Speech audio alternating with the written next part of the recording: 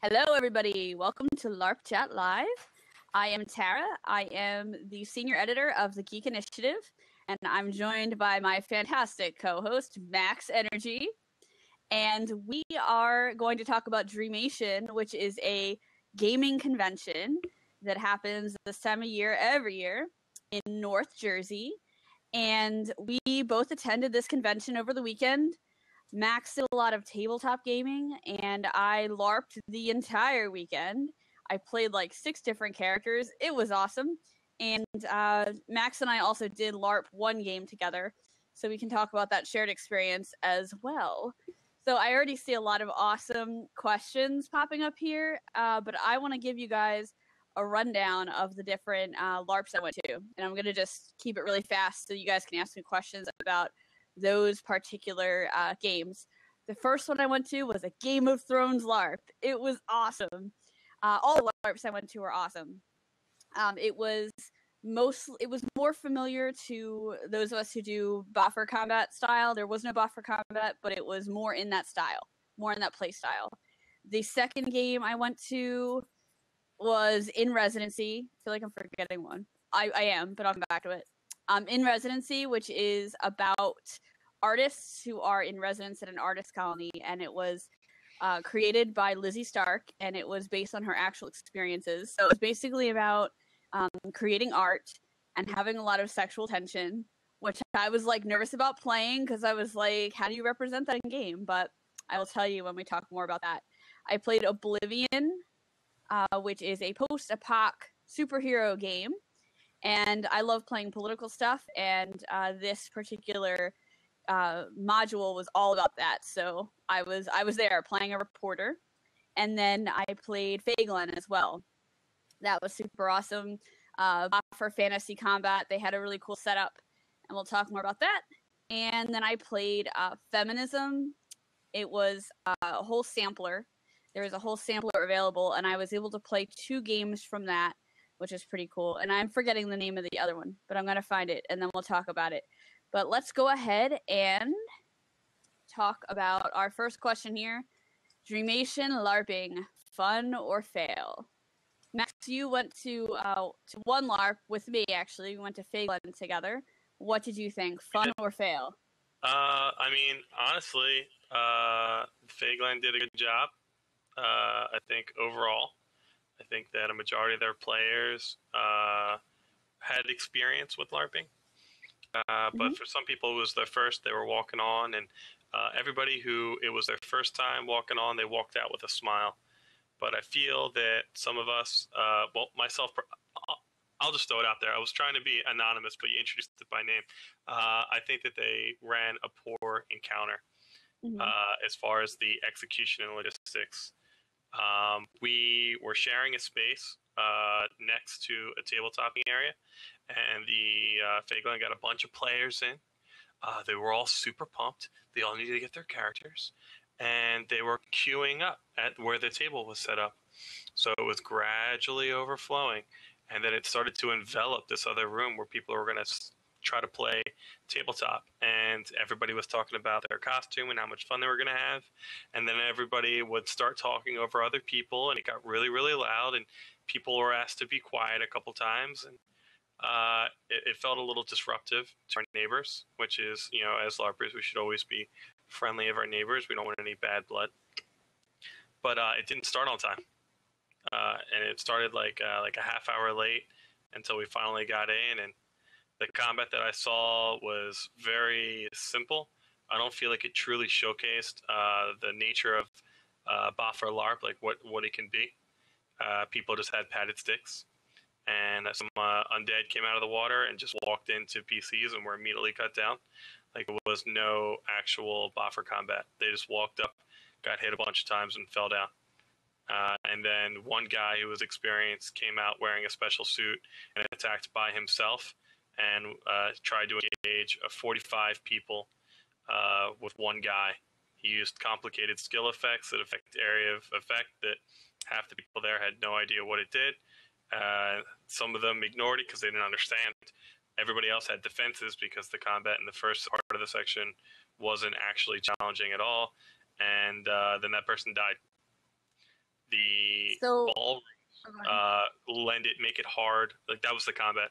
The ballrooms make it hard to role play with people uh, due to the nature of the acoustics and the tables that they had set up in the central play area, which was an inn, were those large round tables that you'd eat at a wedding that would comfortably fit like 10 people. They were huge.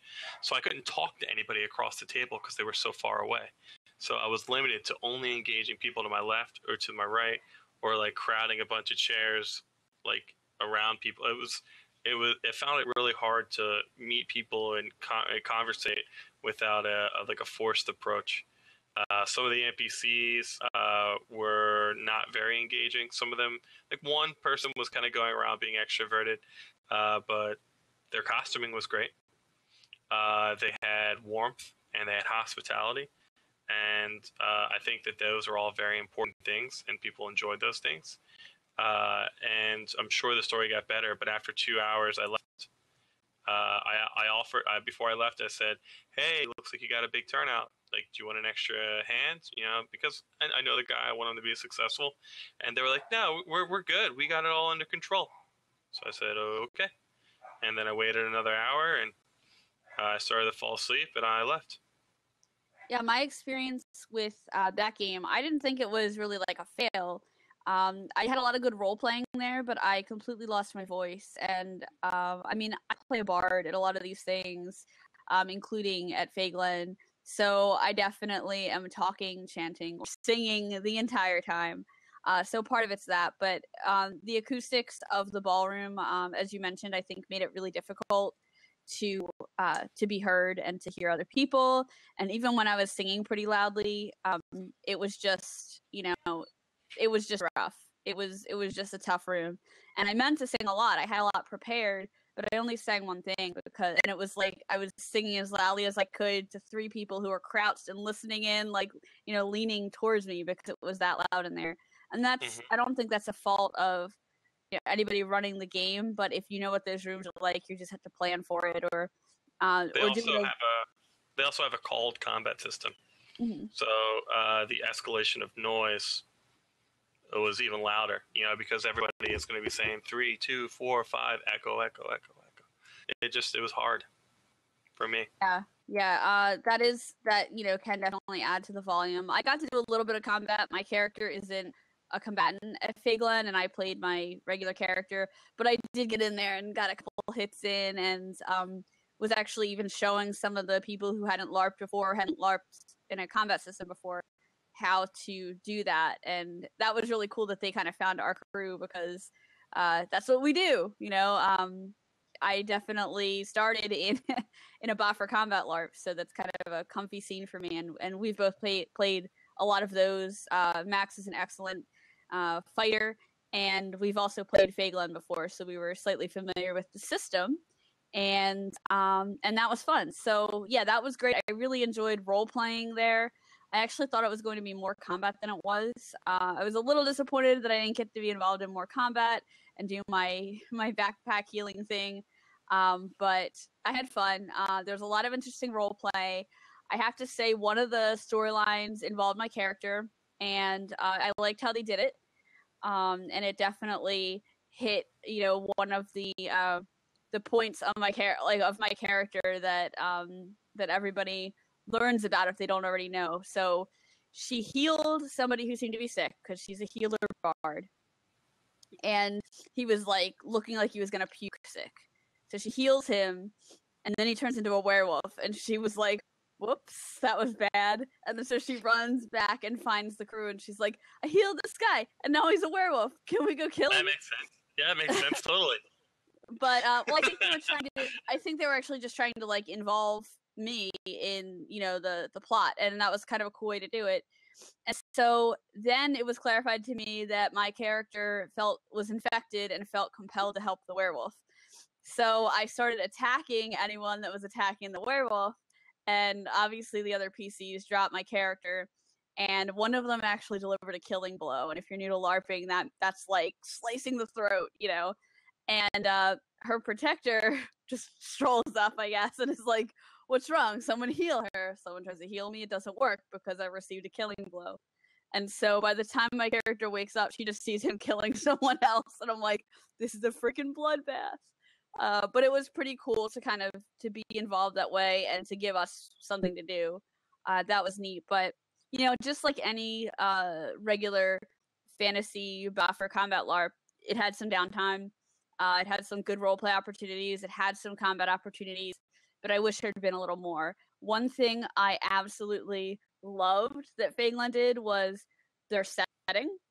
They did a pirate setting, and uh, their game isn't normally a, about pirates, but they do different themes each month within the within the realm of medieval fantasy uh, game. And they've done like a fairy tale game that I went to that I thought was really cool. And this particular mod was pirates, and I thought that was really neat because I just made my character a little bit more piratey looking than usual and kind of rolled in. So it gave the regular players the opportunity to do something a little different, whether they wanted to play their regular character or something new. Um, and it was an accessible theme, I think, to new LARPers because like pirate costuming is kind of on the easy end to do. That said, Agreed. the the level of costuming there, I think, was not only higher than what you normally see at the events, but just in general really good. Like people brought out their best for for this particular mod, and that was awesome. So everyone looked really good at at Faeglen. Um, and yeah, I thought it was fun.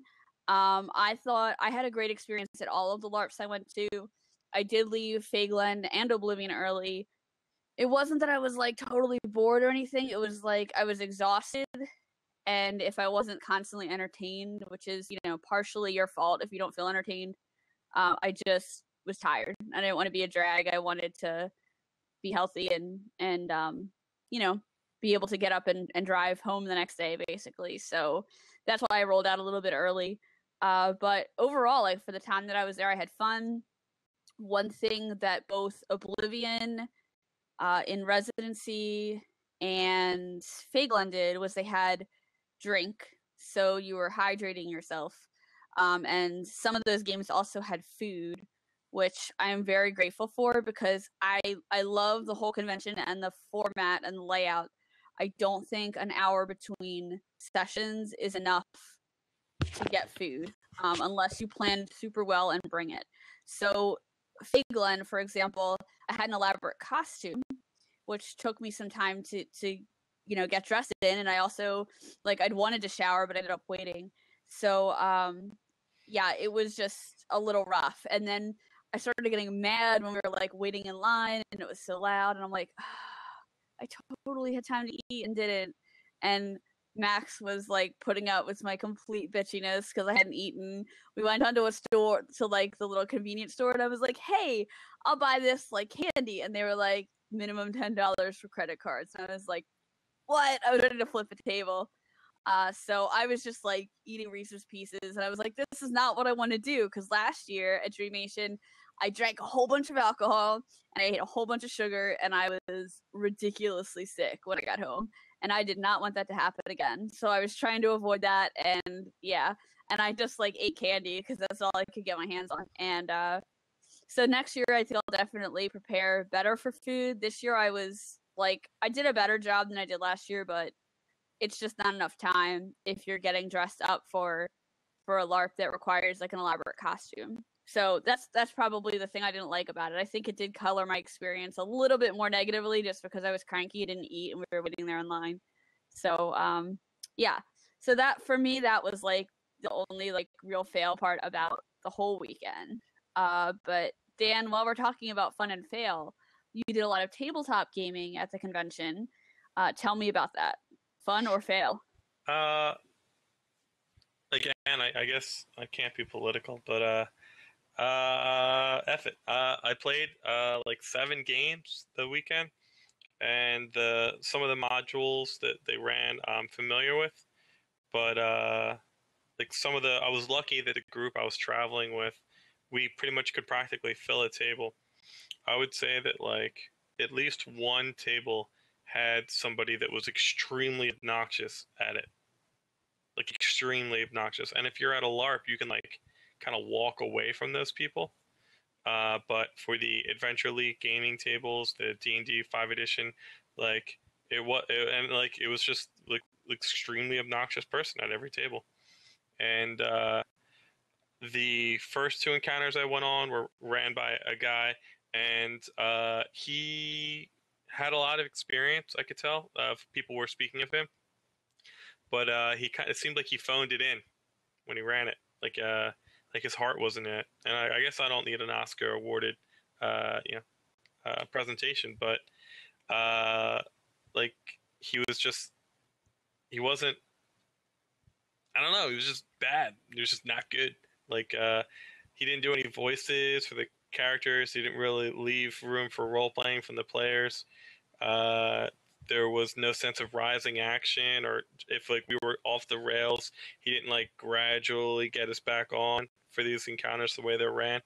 And uh, I walked away like drained from those encounters. And uh, then I had the pleasure of playing with uh, a gentleman who I played with like last year or maybe two years ago.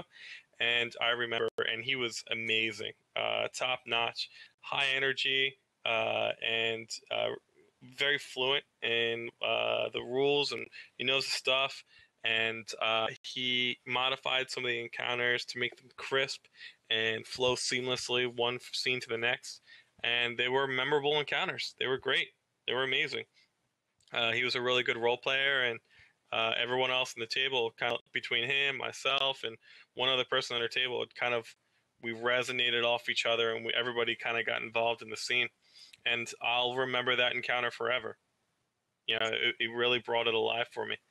Uh, and then uh, I had the pleasure of playing with another gentleman uh, and he remembered me from like a year or so ago, me and a couple of my friends, which made me feel really good.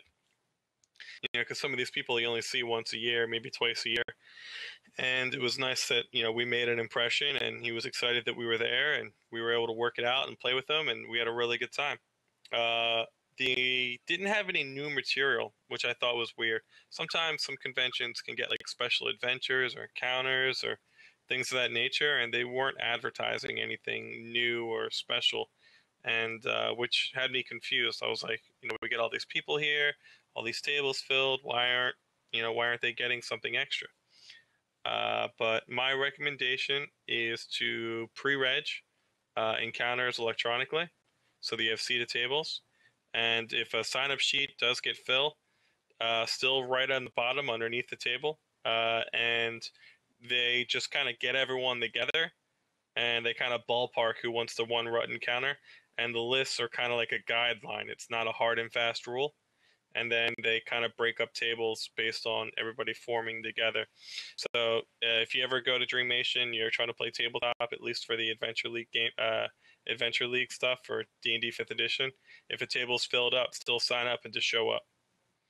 Yeah, I would uh, also say with uh, I lucked out with the LARPs I was able to get into everything I wanted to, but part of that was oh my gosh, no, I'm not gonna sing right now. Maybe later. Um, part of that was I got in and my friends were like, "Play this with me, play that with me," and my friend Isabel, who is often uh, on here, helped me out by like signing me up for some stuff and writing down my badge number. I was way too last minute about it.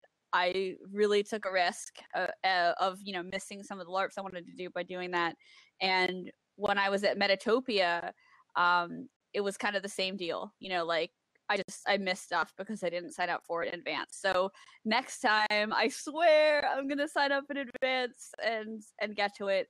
But I'm really lucky that I was able to get into everything I did. So Lee is asking us, feeling a tad nostalgic. How does the event compare to previous years? Now I've only been to one Dreamation before, and that was last year. I actually found out about it from Max. Uh, I've also been to Metatopia, which is also a double exposure event, and more. That's more about like game testing. Um, I think Dreamation is more my style because uh, I'm mainly a LARPer, and there are a lot more LARPs there. Although Metatopia has them, I have not been to a DexCon yet. But would like to go, and I had more fun this year because I knew what to expect. Uh, and because like I made some more plans around my group and also the friends that I had that were going, and last year I was like bummed because I didn't know a lot of people and stuff like that. And this year it was like even when I walked into a LARP by myself, I already knew people in there from last year and from Facebook. So uh yeah. so that was kind of cool. Um, oh gosh, no, I'm not singing right now. Stop.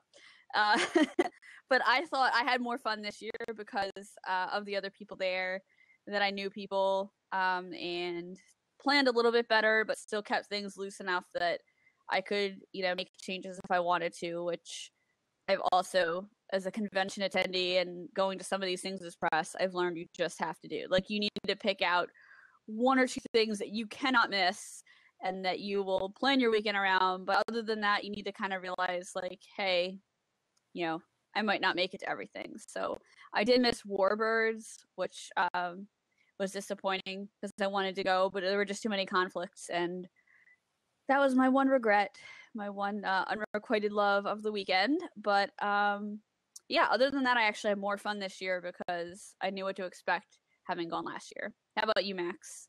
Uh, I feel that every time I arrive at the con, they are using the space a little bit differently, which I like. Uh, they try to be a little bit more innovative. They had a little bit more mainstream uh, board, like, tabletop board games in the lobby of the hotel. If you can kind of close your eyes and imagine it, like, underneath like the double sun light sculpture chandelier they had when you first walk in the sliding doors. So like to the left uh, they had a bunch of tables set up for people playing all kinds of card games and board games. And then to the right, they had like social deduction games, which uh, were very accessible for people to kind of sit down and just start playing. And then, uh, then you had the bar area, of course, and uh, and then behind them there was like a, they ran like LARPs there. I think Dystopia Rising ran there primarily. Uh, but then they would put like tabletop. They put the tabletop games right next to the live action role playing games that are very loud. So I was like, that's not proper planning. That's sucks. You know, they shouldn't have done that. That's really bad. Uh, but I think they just had so many tabletop games. I guess that's uh, they might be getting too big for the hotel, and I guess that's a problem to have. But uh, I feel that the convention organizers as a whole are on point check-in is seamless. Uh, very very easy. They allow you to sign up for events ahead of time when you pre-register, and then they'll print out like a schedule for you. Uh, my only concern was that they didn't post the schedule until like less than a week before the actual event, and the grid or the schedule with the events it's always late. They always say, "Oh, it'll be this day," and then it gets pushed back three days. Everyone's always like, pushed back forty-eight hours, and then finally, when it gets up, it's usually like forty-eight hours before the event like yeah. every year. Uh, but it is what it is. Um, the the tabletop like this year and the live action role playing events, I feel that uh, the ones that I saw didn't really set the bar anymore. But my friend Liam that I talked to said that one of the encounters had a bunch of industrial fans that they used to set up like an indoor hurricane. So there is still like creativity and innovation and people really embracing the hotel medium.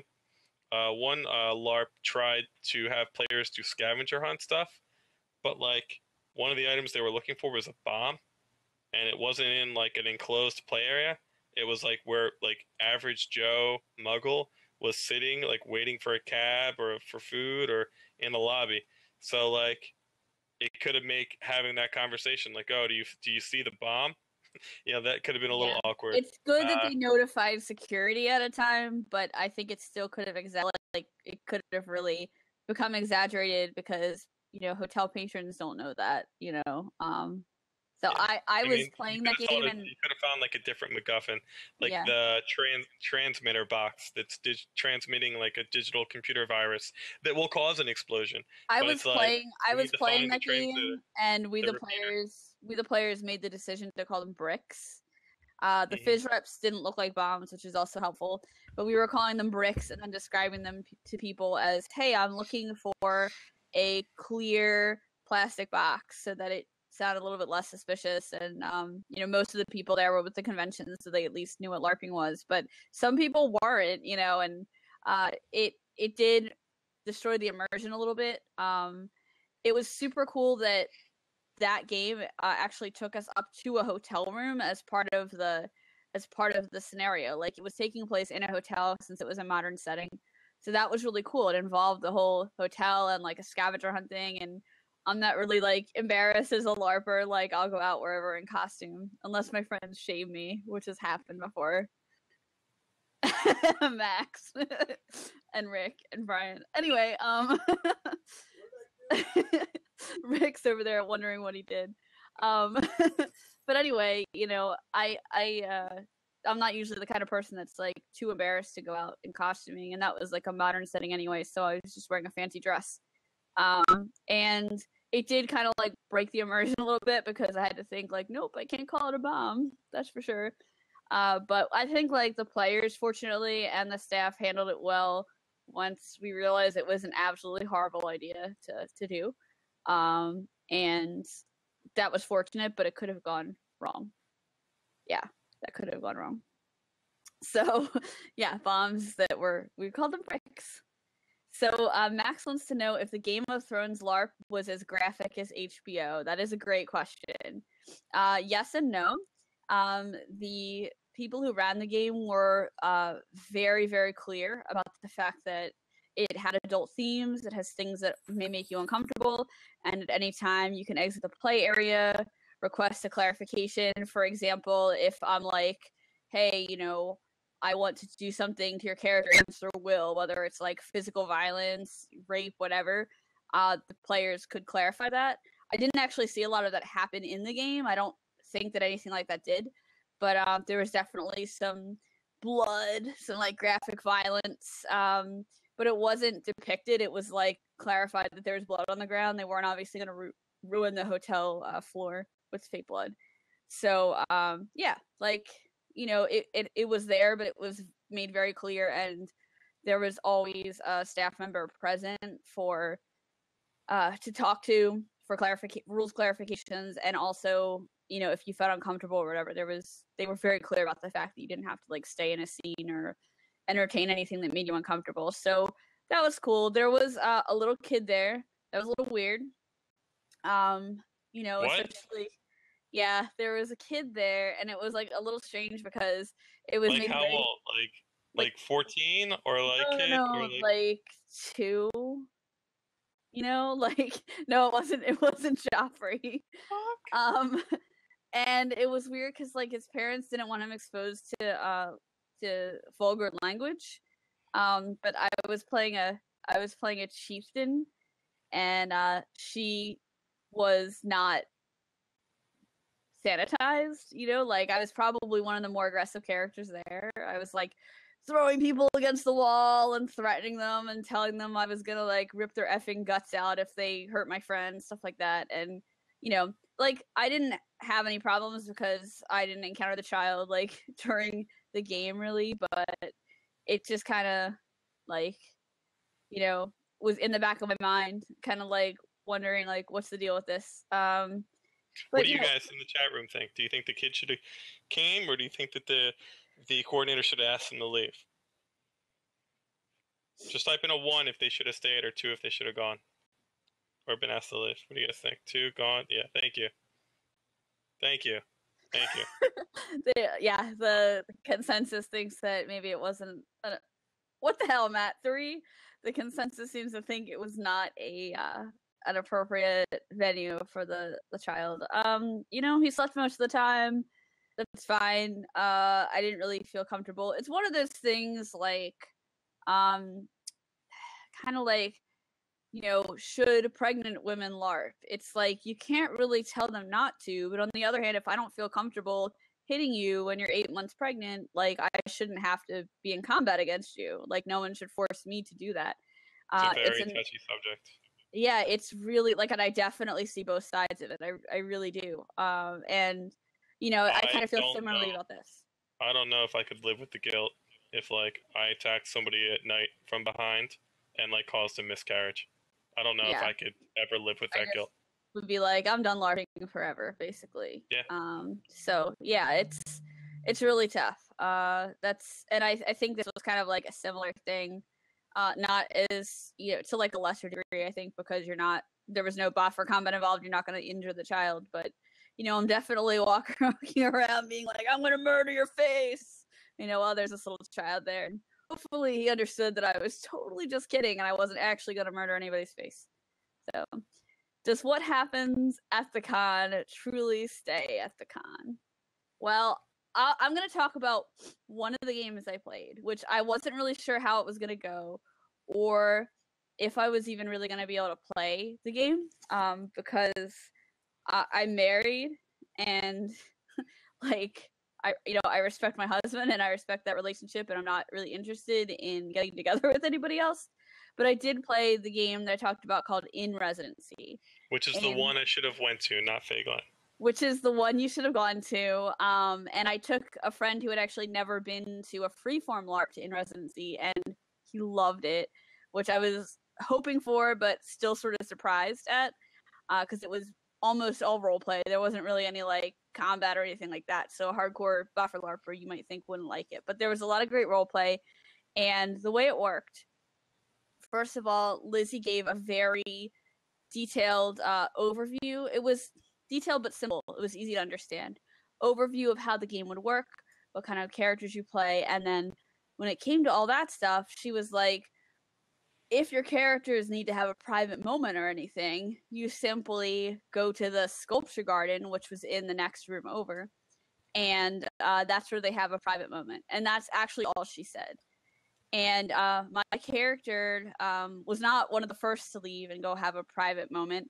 Um, but she did at one point go out there to have a private conversation that turned into a moment. And the way we handled it was exactly as I would have handled it in uh, my regular Boffer LARP, should that ever happen for my character, which was clarify, like, what do you think's going to happen? Like, the ca- our characters had already talked about it, and they were like, let's do it. And then we just clarified, like, they do it.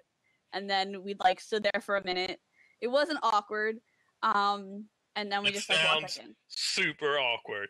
It actually, no, it totally, it really wasn't. It was not awkward at all. Only but, a minute? um,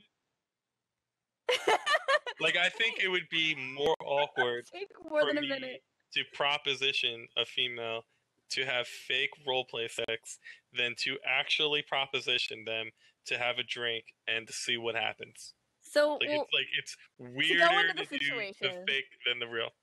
okay, to go into the situation, um, our characters had all formed different relationships uh, as part of the character creation process. So you'd walk across the room, and the person you were next to would be your enemy, or your friend, or your best friend, or your crush. Okay, and right and for for my character this was actually her best friend so they were talking a lot about you know the other characters and what they thought and um and like our whole thing about it's it's really funny i had to tell my friend kristen this because i uh I, I write with her a lot um in the same genre but we had decided that at this high art colony that um our dirty little secret was that we met because we write Avengers fan fiction.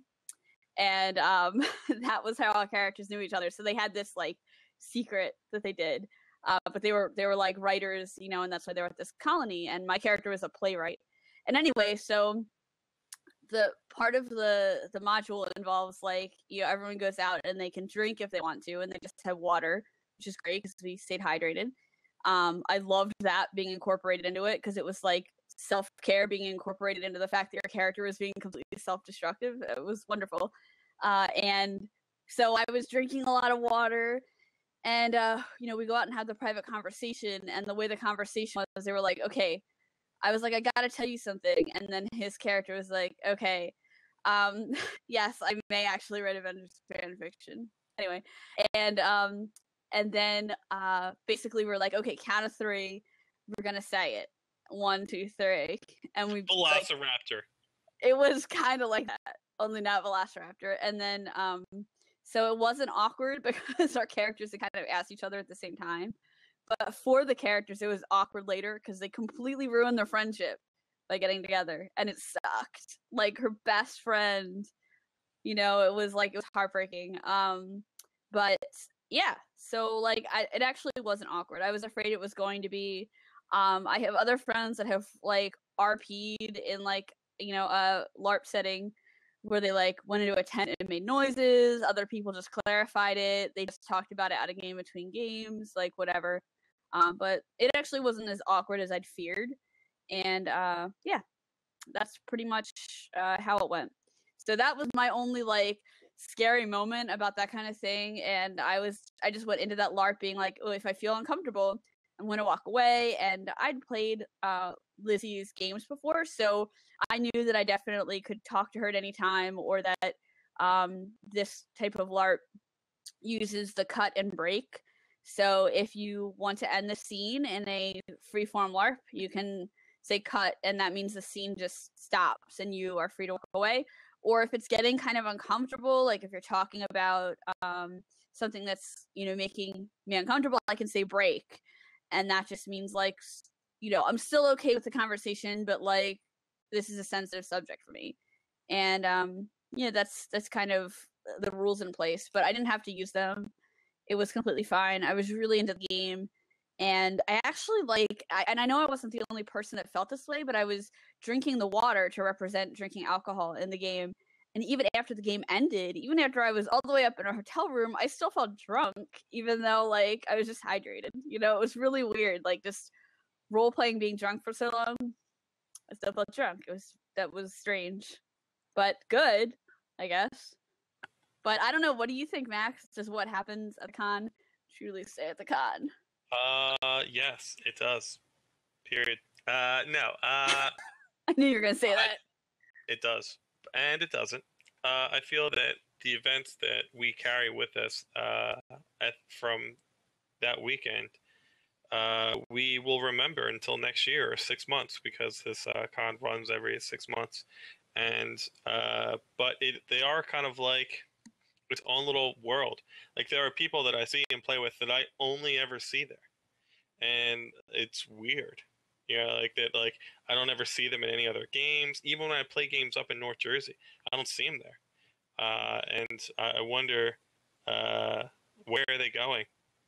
Uh, why aren't they LARPing or tabletopping outside of just Dreamation? When Mystic Realms was running events there, they we we got I think two players after like five, six years of running events twice a year, and uh, we just the juice wasn't worth the squeeze, uh, so we stopped. But uh, I feel like that, yeah, even to a negative extent, what happens to con stays the con. I feel like it's not a good way to attract new players. Hmm.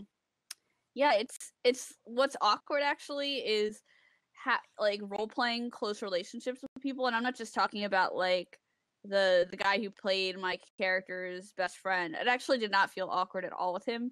Um, but I did see other people from the same LARP, mm-hmm. and mm-hmm. I was thinking that I was gonna like shout out to them in the hallway or whatever, but we passed each other and there was just like an awkward glance, and I'm like, why is there just an awkward glance? Like, you know, our characters drink together. like that yeah. was a little weird. Um, that actually really was awkward, and it's not like other cons, like New York Comic Con, just everyone has business cards, even if you just have like your own blog or even if you're just um, like a big fan, you know, and um, basically like it, it's not like that here. And I wasn't there as press this time, which is different than what I usually do. So I wasn't going around handing out business cards and stuff like that, but I did feel like I wanted to be like, I loved role playing with you uh, can we connect? Or like hey where do you live? You know maybe you could come to my the games that i play because you're really good role player. Like i encountered so many amazing role players at this convention. It was ridiculous. It was a very high level of rp i felt like i was maybe like just below or on par with most of the role players and that when you click with somebody it's just like the scene just keeps going. It's amazing. And i i don't know who those people are. I think some of them i'm like friends with on Facebook. Some of them I'm not. Um, you know, and I'm like, oh man, how do I know who played that person? And I know from like the debriefing and stuff like that that some of them were first time LARPers. So there's probably not people that I can find easily either. Uh, and that's another thing I want to add about what happens at the con um, and what happens in uh, specifically like freeform LARP modules. Some of them are really emotionally intense, and there is a debriefing process where you talk about how you felt a lot of people will like take their character name tag off and like or the character sheet and they'll rip it up to represent like separating yourself from the character before you walk away um and Max, you're giving me a weird look, but I feel That's like so it's kind of, weird. That's so weird. it's important though because like you need to kind of say goodbye to the character. And then on Monday, I went back to work and I was like, man, it's a little, in a way, it's a little more intense than um like this last month at Seventh Kingdom when I had a really intense moment as my character and was like, I wonder if I'm gonna have like all this bleed when I go back to work because so many awesome things happened and I'm still like, oh my god, I got to heal King Baylor. It was not at all like that. It was like I lived like six different lifetimes over the weekend. Is how it felt. I felt like I was like quantum leaping, you know, through the whole weekend, and then I just had to like go to work. So those debriefings are really important because they let you step away from your character and some people play mean characters. Like in the game of thrones larp some of the characters do some very nasty things. My character was particularly aggressive like even more so than the main larp character i play and i think that was important for me to step away from that and be like okay ripping up the character name i'm done with this character now i'm taking off the circlet you know i'm not her anymore. Um, i think uh, it's important and amy's saying um, that she often wonders about bleed and for those who don't know, bleed is when you experience some type of reaction or emotion, and then it carries over into uh, your real life after the game ends. And um, it can also go the other way. Like, you know, I'm depressed because something happened in real life, and then my character, you know, can't be happy because of the same reason. Uh, obviously, that can happen too. But um, I mean, one moment that I've had with bleed is a lot of people hated my character. They got very upset at my character at my main game. And then I noticed people started treating me differently outside of the game. And that's horrible because it's like your social support, you know, your group of friends just like drops you. And it's like all because you think my character did something shitty. And like she didn't even really do anything shitty. It was just someone else was setting it up that way. And uh, that was really hurtful. And I don't think uh, all of it was even intentional on the part of the people that were doing it. I don't even think they like thought, I'm not going to talk to Tara because her character was an asshole, um, or because I was led to believe that her character's an asshole. I think it was just like this whole thing. Like some people stopped interacting with me, and then a whole bunch did, and that lasted for a couple of months. And um, it gave me the opportunity to get closer to some other people but it definitely made me think. So, in that sense, what happens at the game can uh, be something that you carry with you, even if you don't want to. So, let's move on to uh, another question here.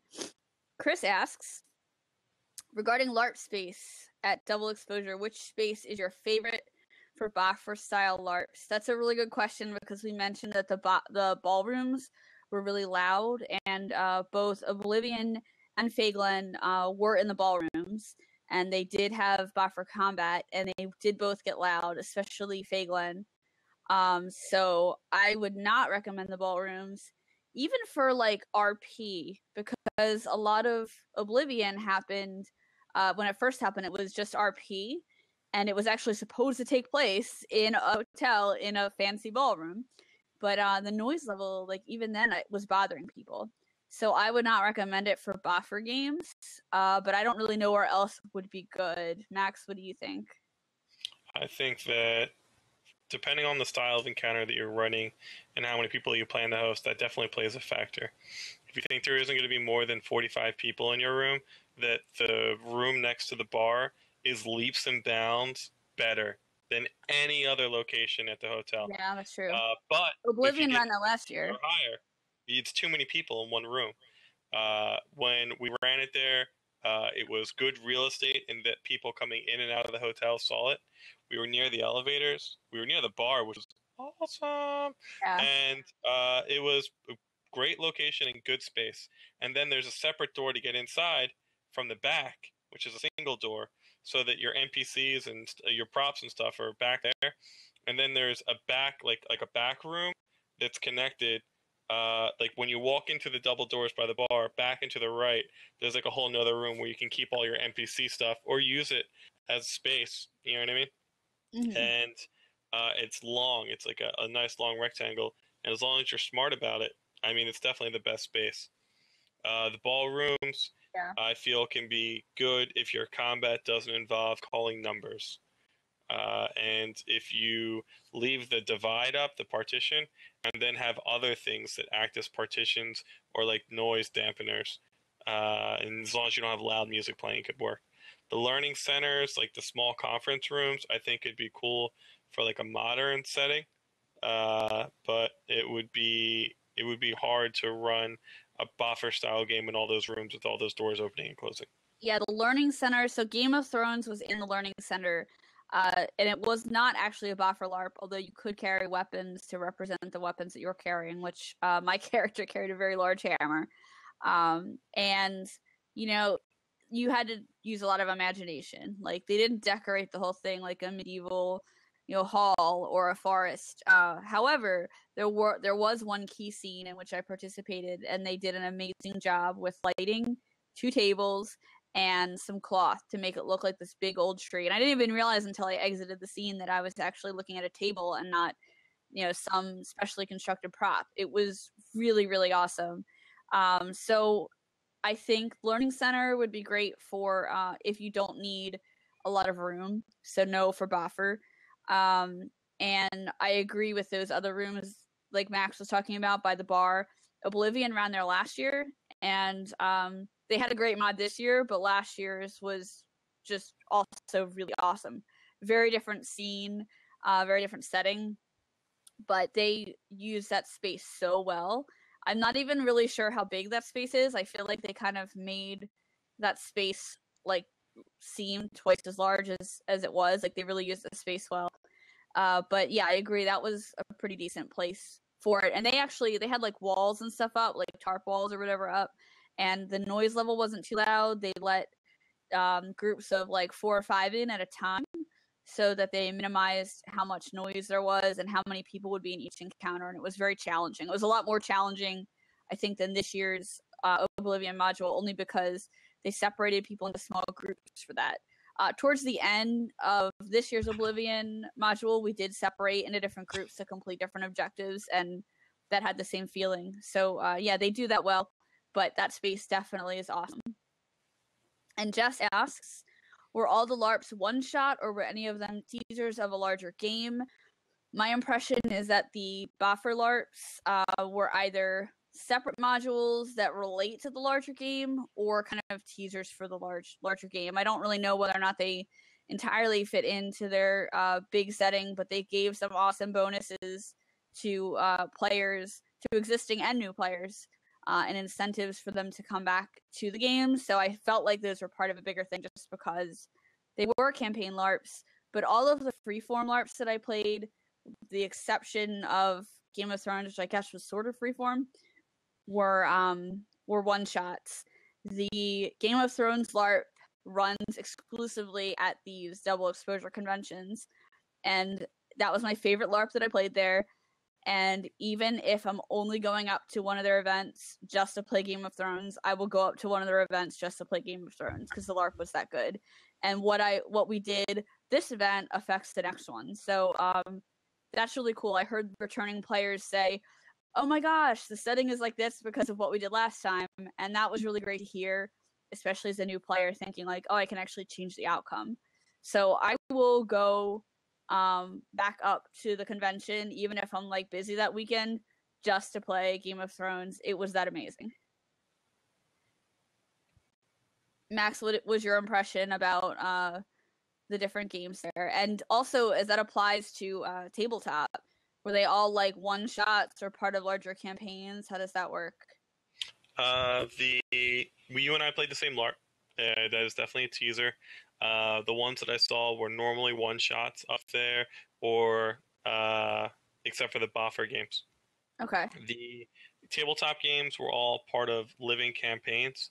Uh, what happens is they have organizations that create content and then they run that content at that convention, other conventions. And if you are a convention of significant size, sometimes you can get special encounters just for your area. Sometimes you'll get celebrity or guest judges, or the people that wrote those modules that were selected uh, to be a part of that season. Uh, they will run their content there, and normally that person is the best person to run the encounter because they wrote it. Uh, but we got a sneak peek Sunday morning. We had the option. They ran one or two tables of the next season, uh, The Curse of Strahd, which is uh, a Ravenloft style game. They're going back to Ravenloft. I had no interest in checking that out. I think that they need to create new worlds, not just keep using the same stuff. Uh, usually, the people I find that are most excited to play Ravenloft are the people that I would never really ever want to play with. And granted, that's just anecdotal, but like the people that are like, "Oh my god, I love Ravenloft," I'm like, typically, I don't ever want you to sit at a table I play at. But uh, I don't know. Uh, I don't know how it went. Maybe the material's better this year. Who knows? Uh, it was always that. Uh, Sorry, guys. that- that- a wall of text uh. Well, oh my god, like not to be conscious. Uh, but uh, I would say that uh, the role playing there was good, and the encounters there were good, and um, and I'm excited to check out ConCon, which is going to be some of those people there invited me to go up and run for them, and uh, I'm check I'm checking it out. I might do it. They're going to have the uh, new material for season four for the tabletop, and they're also going to have uh, an epic from season one, like like in season one there was a cataclysmic event i won't spoil anything for you and then season two and three were like uh, reactions to that but now they're going to run an epic where you can like go back and fix the event that happened in season one Awesome. Uh, we're going to head to Amy's question. Here we go. Amy asks, "How did the male gamers respond to the feminism LARPs?" So I attended uh, two, technically two different feminist LARP events. One, which is the one that Amy's referring to here, is uh, hashtag feminism, and uh, the other, I actually just accidentally pasted that in here, was called Auto- autonomy. Um, and that is a, a flipped version of the real world where women run Congress and men fight for the right to make their own medical decisions. Um, and as the uh, woman who ran the game, I forget her name, she was great. Uh, but as she uh, explained it, the, the men who are here participating in the game are probably not actually the ones that need to hear it, uh, which is true. You know, uh, there are you know people who are aware or open minded and um, you know, I, they did seem to have insights about you know what they learned and what it was like to play um, you know people who had to basically fight to make their own medical decisions. Uh, that whole LARP was really interesting.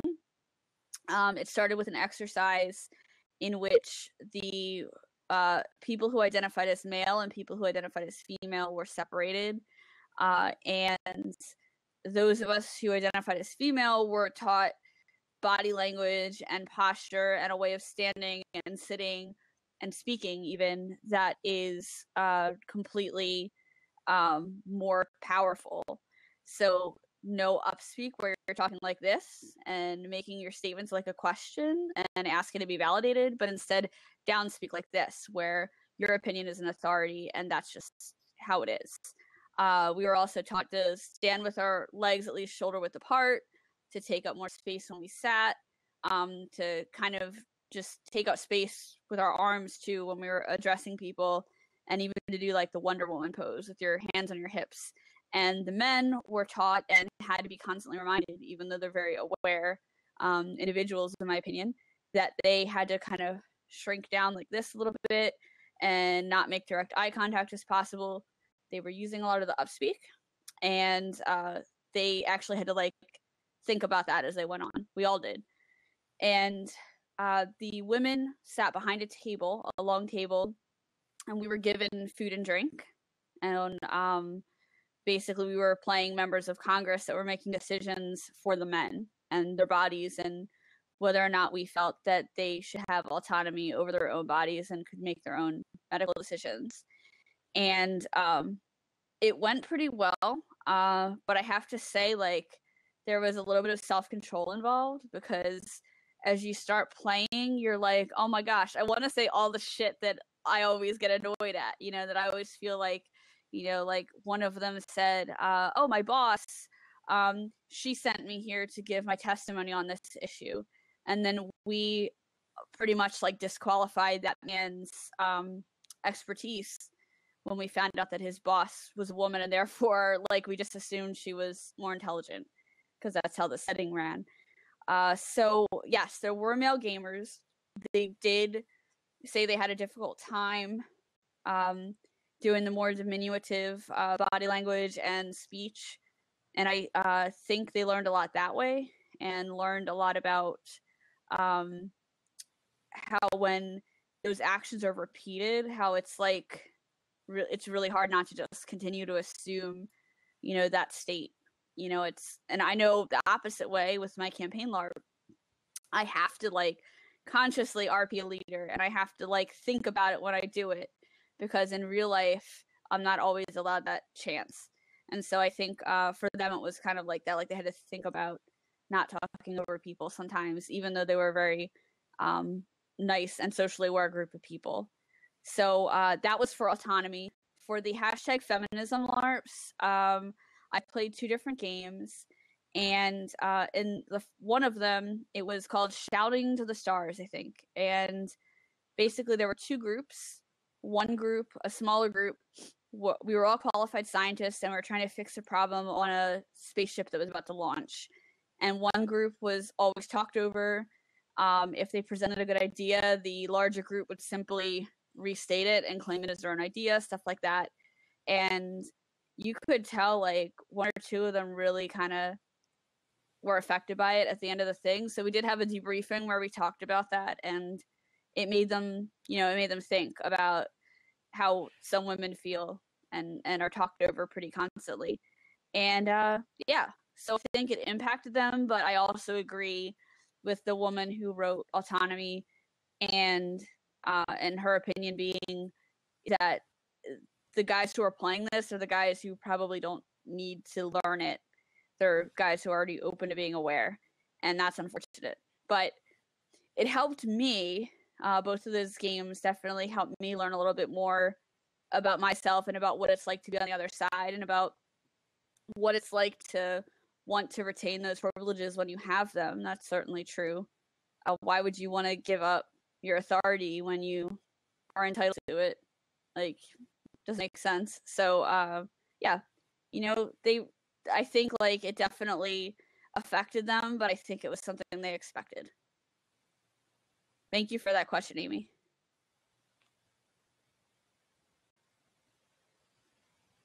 Okay, we'll move on to this one, which I am not an expert in because I did not avoid the con plague.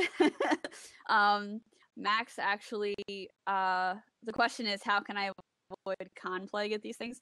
And Max was actually one of the people in my group that seemed pretty aware of like, when are we eating? When are we sleeping? You know, um, what time are we getting up in the morning?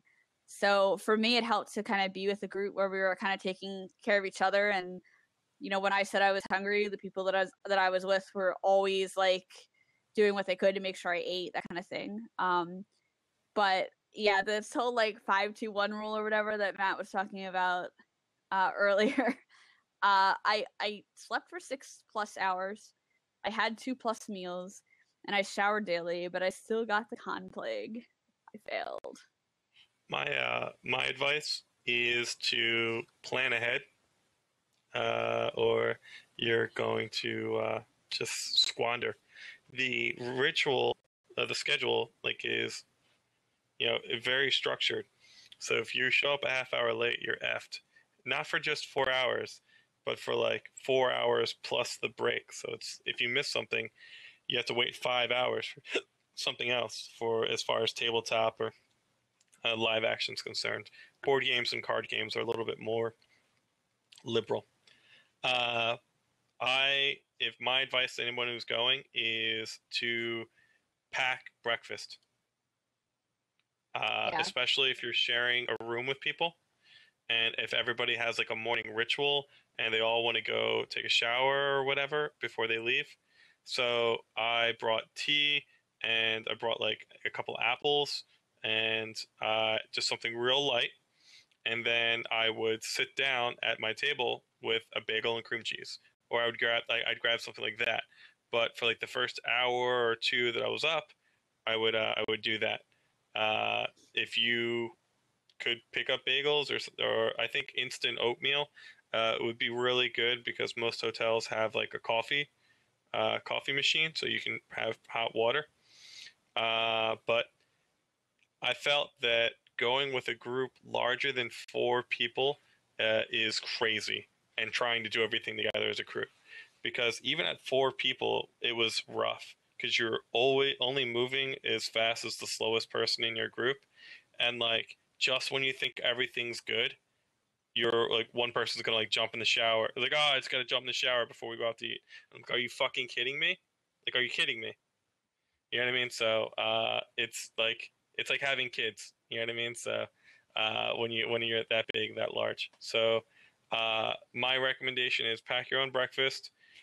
Talk while you're waking up for breakfast. Decide where you're going to order from lunch and what you're going to want and then one person calls 20 minutes 30 minutes before the time slot's over so that that place isn't bombarded with lunch orders all simultaneously and say you know we're going to want delivery for this time grab it at the hotel like the when you're leaving uh, pick it up at the at the front desk and then eat in your room because every other thing's going to be crowded or people are going to come up and talk to you you really need nutrients and if you're all playing different games this is your time to spend with your group you know what I mean?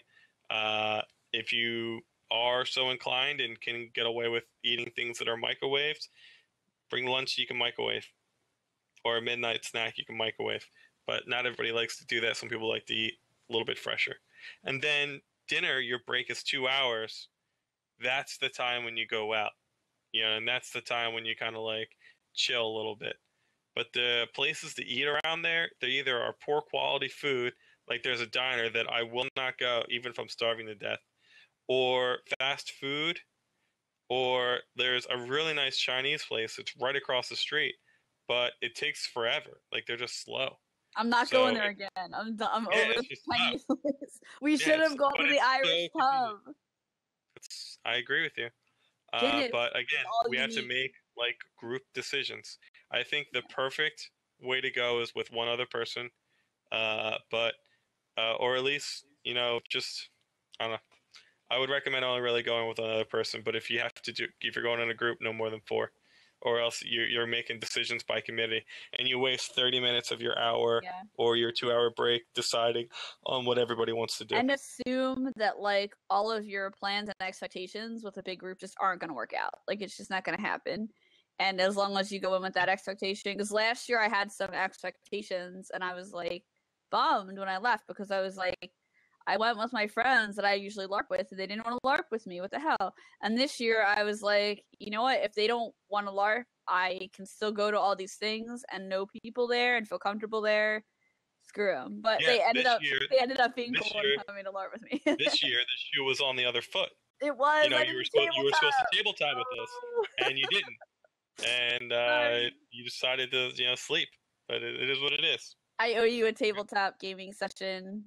Forget about it. As long as you walk away having fun and you know the the the check is on both columns and that we're square true. We're from even. last year and this year. we're even. That's true. So yeah, like nothing. uh You know, not all expectations will be met. And this year, though, actually, I can't say it was like majorly disappointed at any time except for that moment when I'm like, when are we going into Faeglen? And I was so hungry and it wasn't like it wasn't Faeglen's fault. I was just pissed that I didn't have enough time to eat before I got there because it takes too long to costume. I think I would do better with an hour and a half between sessions in the in the afternoon and evening than an hour, just because like when do you eat dinner? I don't know. Or or if you're heavy costume, like you yeah. just gotta like bounce. Like you can't hang out and talk That's the way. You just gotta commit awesome. to taking care of yourself. Like your needs are more important uh, than socializing with people you won't see for a year. Uh, David Ellis asked, "Was Greyhawk born there?" Yes, they were there. I didn't have the pleasure of trying any of their encounters. I really wanted to, uh, but the they they weren't running anything that I had a time slot when I could play, so I missed them, and I'm hoping to see them soon. Yeah, I saw them all over the list, um, but didn't play. So let's see. Chris Goley asked, "Do you believe that conventions are a good place to debut a LARP that is attempting to build themselves up to a weekend style game?" Uh, very short. No, I don't. I don't. Yeah, I agree. It's a risky investment So it's good. It's a good place to like get your name out there, to network, to um, meet people. But I like if you have a crew of four people who are founding a new game, like a weekend game that happens once a month, for example, like the kind of games that we're used to playing, wear the t-shirt, introduce yourself, make really great relationships with the uh, owners of the other games that are there, make sure they know who you are, for, form those connections, build some trust. You're going to get more value out of that and knowing those game runners and those players and the LARP community than you are running a game. Uh, if you do run a game, one thing I was, I'm not sure if Oblivion and Faeglen did this, and they might not have done this for me because they already know who I am, but um, they didn't have like a sign up sheet with your, like where you had to put your email and stuff on there. Uh, you know, a basic, I work in marketing, and a basic rule of marketing is you always want to capture their email address so that you can contact them later and invite them to try your product. And uh, you know, like I played six, seven LARPs this weekend, uh, and when I just listed them out, even though I'm doing this blab on LARPing at Dreamation, I forgot one of them the first time. So uh, it could very well be like, man, I played that really great LARP, and I don't remember what it was called, but it was about like yeah, it's just poor marketing. Like they might not remember that it was Faeglen, and and it would be really cool if Faeglen reached out to them and were like, hey, come to you know come to my game because you know like you know, Tony's like that. He's super welcoming. He wants you to come to his game and uh, that kind of list would enable him to do that. So I don't, I don't. They might have done that, um, and I just wasn't on it because I'm already part of that Facebook group and I already know you guys. But um, yeah, like that's definitely uh, a big tip for for anyone, and uh, handing out materials as well. Business cards are a pretty good investment. Um, I used to recommend Vistaprint for business cards, but Staples actually has a surprisingly affordable deal and I actually got the Geek Initiative's business cards done there before we went to Metatopia as press, and um, I think it was only like ten dollars or five hundred or something like that. Really, really good deal, um, and that's like full color glossy. So it's a really inexpensive investment.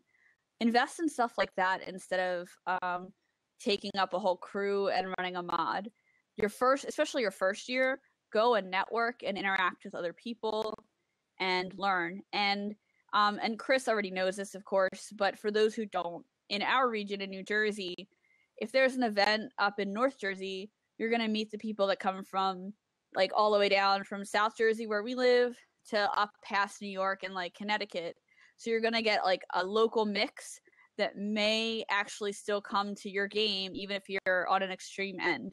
So uh, you know, in South Jersey we get people who come from New York and Connecticut and that that region who do come to games every month. So that's not totally unusual, which puts Dreamation and other double exposure events in a really good um, place, a good location to kind of draw that crowd. So you'll expand your reach a bit, um, but I don't think it's worth having a whole thing. And I really admire the games that do it, especially you know the uh the the boffer games that do such a big setup, you know, because they do so much work to do it, it right. So it's much so work. much work. It really is. I I really I respect how much work it is because I used to be staff of the game and I used to help set up all that stuff, and it's so much work, and I can't imagine doing that for four just for a four hour thing. Honestly, it's just wow. Um, now, if you're running a one shot game, that's something I would really look forward to maybe doing in the future. Um, Max is great at running games. You know, maybe in the future we could actually run something and I could like be an NPC in that. Um, I would rather do something like that and um, and work on it that way. I think the people running the Game of Thrones LARP really have it right. They have uh, minimal props. They're super organized with the characters, with getting people set up and going. They use the Chronos system, which is really easy to learn. I'm so bad at numbers. I can't freaking like add and subtract. I have a hard time you know, with boffer combat because I'm so bad at numbers. They make everything really easy. They're very accessible throughout the whole game, and they just attract a really high level of role player. So I think they that type of game um, is best suited for the convention, and the fact that they only run it like at the convention makes it even better. It's like that's the game that makes me absolutely 100% want to go to the next event they do even if I don't know anybody else there. I will go just for that game. So uh, that's the type of game I think that's best suited for it. That will get players continually. Um, one shots and like make sure if you're running a one shot, make sure people know who you are, and if you are affiliated with another game and you want them to know, tell them like two or three times as you're running it. So like again, my name is such and such. Here's my card. Like pass out their you know your info because um like I, I mentioned Lizzie Stark who ran who wrote and ran in residency. She's amazing. Um, I know from playing one of her games last year that as soon as uh, Sarah mentioned to me like, oh, you know, there's this game in residency. As soon as I saw that it was Lizzie's, I was like, all right, well, you know, a role player that I respect is recommending it to me, and you know, one who ran a great game last year is uh, is in charge of it. That's all I need. So uh, basically, like next year, like even if it's not something I'm interested in, I'll still probably like play it just because she's running it. So uh, yeah, you can build a good reputation there, but not the best for uh, for a regular boffer combat game. I don't think not a great investment of your time. Definitely uh, ask yourself uh, what is it that you're trying to do. Uh, if you're just trying to get players, uh, and ask yourself what kind of game are you trying to run.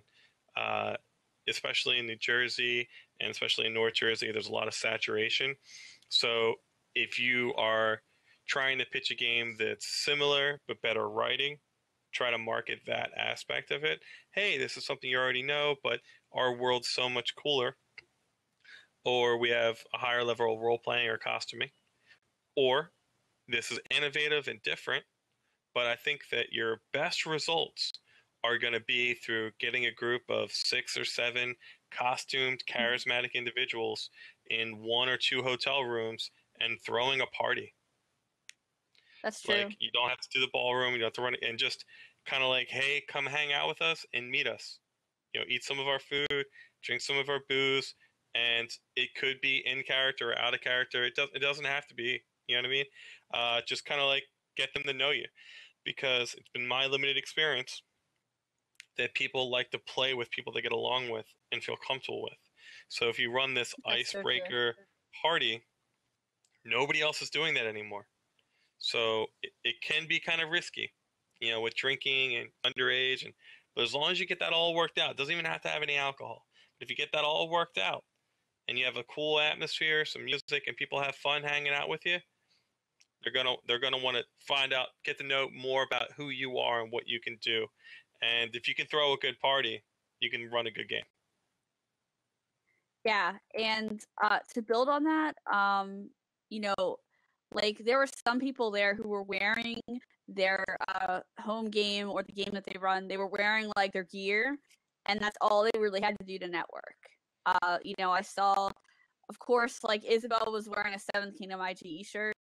Um, and I saw Ben and Mari were wearing their New World Magischola jackets, right? I had never met them in person, but I recognized them across the lobby because they were wearing their brand, you know, and they still had seats left for uh for some of their games or one or more of their games while they were there, but they weren't really there selling. They were they're participating and networking and interacting and they really do a great job of understanding what it means to build a relationship in the community and earn that trust so that when they do share something or ask for support like the community's there and um, you know they were really really genuine about that so uh, definitely like represent your brand wear the gear i was terrible about that because i was in costume the whole time. I didn't wear a geek initiative shirt.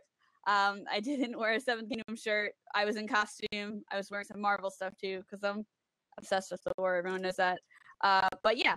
So you can still get a lot done at conventions, even if you're um, not running anything. So don't feel like you have to run something to network and meet the right people. So um, let's see. Lee asks, "What's the weirdest, most hilarious thing you saw last weekend?" I'm gonna say, especially now that Lizzie is here, I'm gonna say that um, some of the scenarios that evolved in the aforementioned in residency were just fantastic. Uh, we had one segment of each day that we played out in the LARP, um, during which our characters were drinking, and just so many funny thing hap- things happened. And there were such simple game mechanics, but there were just a few things that worked so well to set the stage for really serious things or really humorous things. And one of them was there was a, a section of the room that represented a pool house, and um, and uh, if you were sitting in the pool like just in your regular clothes, then that represented you being in your bathing suit. And if you were under the the tarp or the sheet that represented the pool, then um, then uh, you were you were skinny dipping.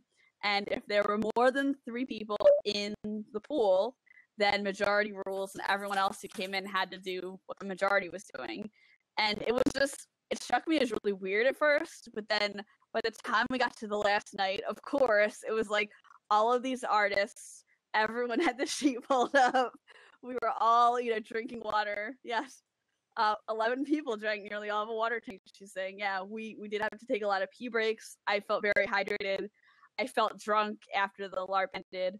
Um, but just like it's it, it's like when you have a tight knit LARP community or a theater community, you get real comfortable with each other, and by the end of the experience, you're just like just partying. Um, one character was drinking a lot, and he came in and barfed in the pool someone else was in it. Well, a couple of us were in it, and we we scampered out of the pool. And then another character, actually my friend Brian's character, runs in and like dives in the pool. and we're all like, "Oh my gosh!" And his character was named Donatello, which is hilarious because artist slash Ninja Turtle.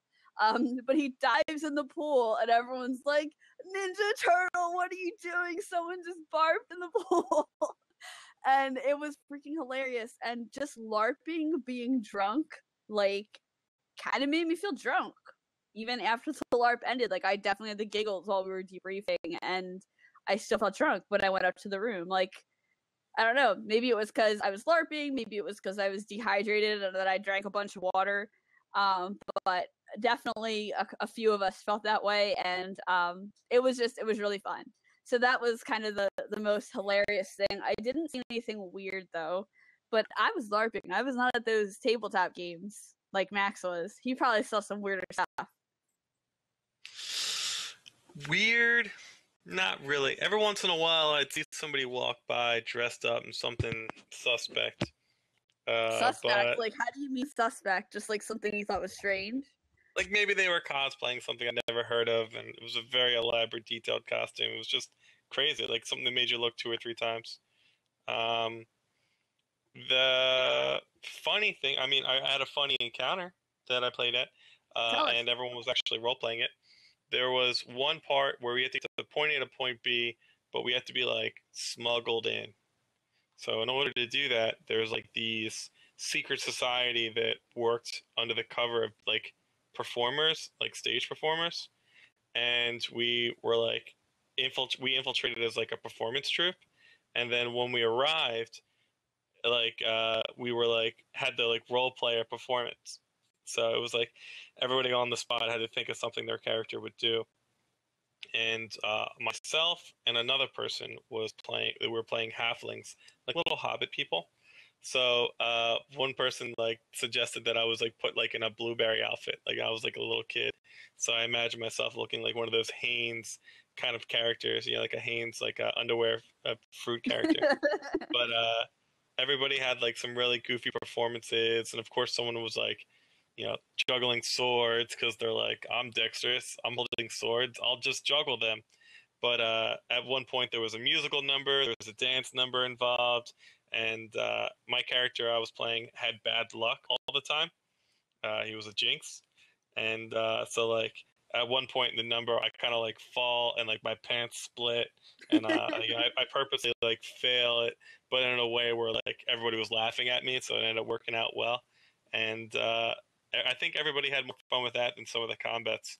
Uh, everyone in the group kind of had the right idea, really bought in, and good improv acting. It went really well that sounds really fun. I like to um, really, really get into it with tabletop games, and uh, DMs like Max appreciate the role playing style and understand what I'm gonna do. But sometimes I'll like start talking in character at a tabletop game, which I would think is normal, or like I'll play a bard and then I'll act like a bard. uh, and people look at me like I'm weird, and then I'm just like, yeah, I should probably just go LARP now. Uh, you're at the wrong. You're at the wrong table. I am. Yeah, that means I'm at the wrong table. Um, but uh, that means I just get more picky with who I tabletop RP with, and usually I'm in one of Max's games nowadays. Uh, but yeah, that's there were other hilarious things that happened. I mean, during the Game of Thrones LARP, I definitely individually threatened uh, just about every member of the Night's Watch. Um, I was playing a, I was playing a chief, a, a wildling chief, and um, I was like, I knew that if I like attacked any of them where others could see, that I would just die, right? So I would like, I started with like the weakest looking one, and just threw him up against the wall, and like by the end of it, I individually threatened most of them probably not the ones that deserved to be threatened. But uh, they were all like the role playing was just so good. It was funny because of how surprised they were that I was just like throwing them against the wall. And I always notice since I'm used to playing these boffer campaign LARPs, I'm used to being aggressive and not the most aggressive person there. But when I play freeform LARPs or RP only LARPs, I notice I am consistently the most aggressive person there, and it's not even always intentional. It's just, you know, I'm just so so used to a more aggressive setting, I suppose. And uh, in this particular setting, um, I definitely was. Uh, that was that was pretty interesting and uh, and resulted in some hilarity. But I think most of the humorous situations were actually that I experienced in game were actually in, in residency which uh, I didn't expect. I was a little worried because when we developed our characters, it was all about like exploring these traumas that they'd ex- that they'd experienced at a young age, and I was like, oh, okay, well, maybe this is gonna get really dark. And there were there were like some real deep moments. You know, the characters are drinking and you're meditating on your work during the day, but um, it ended up being more hilarious than anything. And my character actually, she had a kind of sad time towards the end of it because she was in this like unrequited thing with her BFF, and um, God, what does that say about myself that all of my characters had that situation? Uh, but basically, you know, like um, she was she was having a sad time, but it was more about the group and um, what they experienced together. And she didn't walk out of it like just losing her best friend. She she got like a mentor um, you know, she was definitely keep in touch with the other friends she made there. So that was pretty fun. So yeah, hilarious and and also really feelsy. so oh, so, okay, uh, so we've had a couple people drop in. They're pitching yeah. a couple things. Lizzie was letting us know about her Gen Con plans and uh, how she's going to release a PDF. Lizzie, you got to come on and hang out with us next week and uh, tell us about it. You should be. Yeah? You should be. Um, be a guest. Yeah, Lizzie, you should definitely come on and be a guest. And uh, great, that sounds awesome. I will set that up and uh, and be in touch with you. Uh, we Siri, talked a lot about. Yeah, as well. absolutely. She was uh, with we the talk, Game of Thrones. She let us know all that the time about our boffer LARPs, and um, always hope that somebody will drop in and talk about freeform and Nordic LARPing. Uh, so that would be cool. Um, and yeah, Matt talked to me earlier too because he wants to talk about uh, a very specific topic, uh, role playing uh, the Fey folk, which he and I have both done. So uh, we will also cover that in a future um, a, a future LARP chat live. Uh, so yeah, surprise, Lizzie will be on next week. we'll talk about hashtag feminism. We will talk about in residency, our Dreamation experiences, and we will talk about Nordic LARPing and freeform um, actually, last year at Dreamation was my first freeform LARP experience, and it was one of Lizzie's games. And it was so exciting because I was able to take a piece of it with permission of the participants. We had developed a ritual in the game, and I was able to take a piece of that, one of the rituals we developed, and I actually brought it into Seventh Kingdom on my regular Boffer LARP and um, ran it as a ritual. yes, I will come to the dark side. Uh, and I actually ran it as a ritual of Kruak, the god of cruelty, in game. And people were very moved by that ritual and had asked me afterwards, Where did you ever come up with the idea for that? And I was like, Oh, it was part of this freeform LARP at Dreamation. And we like totally made it up. And I was like, this really fits our culture, you know, in this game. And I asked them if I could take it with me, and I did. And I ran it, and it was really fun. Uh, so yeah. And Matt wants to know if there are links or web pages. Um, Lizzie, Siri, go ahead and throw your links into the chat box there. Um, I already threw out the double exposure uh, link before. I'm going to grab uh, Oblivion LARP's link here. There's Oblivion. And I will grab Faeglen, which I also played over the weekend, as did Max. There we go. Um, yeah, so uh, those are the games I played over the weekend. Um, hashtag feminism, I already mentioned as well, was excellent. And uh, I definitely recommend Dreamation. I feel like I had a lot better time this year because I knew what was going on. And every time I walked into a room, I knew at least one person that really helped me feel very comfortable just stepping into a game and LARPing. I also want to give a shout out to the experienced players in the campaign LARPs who uh, really kind of helped mentor and like interact with people. Those are always really great people to encounter in regular games, especially when there's a really like heavy, long rule book. I've been to Faeglen a couple of times. I'm not gonna lie, like I know the stuff my character does, but I had to like rebuild my character. I don't know all the rules, right? Whatever. Uh, but there were always people there to help me out, and um, I, as far as Oblivion goes, I'd only been to their module at Dreamation last year, so same thing. There were like always people to help out, um, and that was uh, really awesome too. So when you go to a, a game, uh, especially these campaign games that are running at Dreamation, and you see people like that in the game, it makes you want to go. It makes you feel comfortable. So thank you to everybody that made me feel comfortable and um, and helped me to have a really good time there. I'm gonna pop one more link in here. Two more links. So Seventh Kingdom is my regular uh, game that I go to, and then um, of course LARP Chat Live is sponsored by the Geek Initiative, which is at geekinitiative.com. And uh, we have been publishing a lot of articles recently, uh, role playing games, LARPs, video game reviews, you name it. And uh, if you have anything you'd like to contribute, it does not have to be centered on women in geek culture. It just has to be friendly towards us. So uh, any kind of comic book reviews, stuff like that, we love it. We'll take it. Uh, we had Kate went and uh, checked out the pop culture exhibit at the Philadelphia Museum of Art. So that'll be coming out soon, uh, hopefully tonight, maybe tomorrow. And uh, that's that's all I got. So stop by geekinitiative.com, and you can also follow us at Roll for Geekin' It on Twitter. Max, do you have anything else to add? I know there's some MR events coming up. Uh, yeah, Mystic Realms is a South Jersey-based uh, theater troupe, interactive theater troupe. We run a lot of live-action events over across many genres.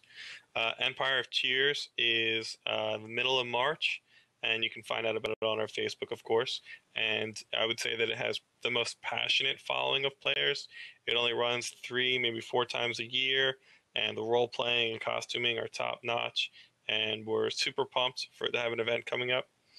Uh, and then our central game, our, our highest production value game, is not this weekend, but next game, uh, weekend. And uh, it's proving it's looking to be a great event.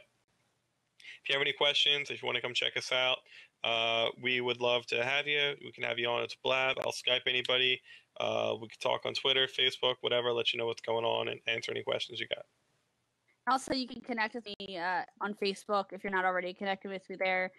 And um, I always do the Facebook invites for the blab. It seems to be the easiest way, the, the way to get the most amount of people. So I go ahead and set that up. And yes, follow, follow Max if you want those memes. Um, I always set those up and like spam. No, not spam. I publish them a couple of times on my feed, so you won't miss them. Uh, and yeah, every Tuesday, 7:30 Eastern, and Lizzie Stark will be our guest next week so we'll actually talk about LARPing that isn't necessarily boffer combat LARPing in South Jersey. All right, so we're gonna go ahead and sign off. This recording will be available. I'll go ahead and post the link to it in the uh, Facebook group with the original invite, or you can shoot me a message. We will see you next week. This is Tara, and also Max. If you want to give a sign off. Good night, guys. Right from the Geek Initiative, and we will chat with you next week. Bye.